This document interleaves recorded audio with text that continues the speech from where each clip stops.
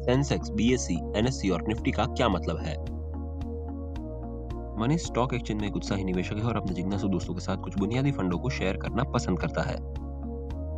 भारत में दो प्रमुख स्टॉक एक्सचेंजेस है, एनएससी या नेशनल स्टॉक एक्सचेंज और बीएससी या Bombay stock exchange.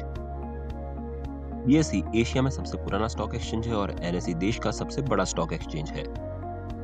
सेंसेक्स और निफ्टी इंडेक्स या इंडिकेटर है जो सामान्य विचार पेश करते हैं कि क्या अधिकांश स्टॉक ऊपर या नीचे गए हैं। सेंसेक्स बीएससी के लिए बाज़ार की सेंटीमेंट के एक बैरोमीटर की तरह है। इसलिए यदि सेंसेक्स ऊपर जाता है तो उच्च संभावना है कि बीएससी में सूचीबद्ध कंपनियों के स्टॉक की कीमत भी बढ़ जाएगी। इसी तरह निफ्टी एनएससी के लिए बाज़ार के सेंटीमेंट्स को पंजीकृत करता है। तो यदि निफ्टी ऊपर जाता है तो उच्च संभावना है कि एनएससी में सूचीबद्ध कंपनियों के स्टॉक प्राइसेस भी बढ़ जाएँगी। एंजल ब्रोकिंग के पार्टनर बनकर आप दोनों सेंसेक्स और निफ्टी के साथ ट्रेड कर सकते हैं।